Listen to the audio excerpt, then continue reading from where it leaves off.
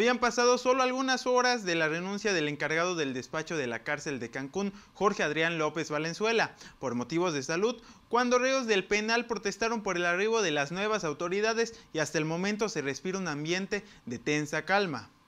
Por su parte, la Secretaría de Seguridad Pública de Quintana Roo informó que se designó a Javier Fuentes Jiménez como nuevo director del penal de Cancún mientras elige un nuevo responsable de la cárcel, ya que Fuentes Jiménez también funge como director jurídico del centro penitenciario.